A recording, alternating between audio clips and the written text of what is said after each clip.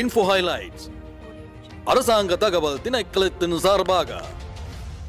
Canada போன்ற ஐரோப்பிய நாடுகளில் பனை உற்பத்திக்கு பெரும் கேள்வி இருப்பதாக பெருந்தோட்டத்துறை அமைச்சர் கலாநிதி ரமேஷ் பத்ரன தெரிவித்துள்ளார். கொழும்பில் கடந்த ஆறாம் திகதி நடைபெற்ற பனை ஏற்றுமதியாளர்களின் கூட்டத்தில் அவர் உரையாற்றினார்.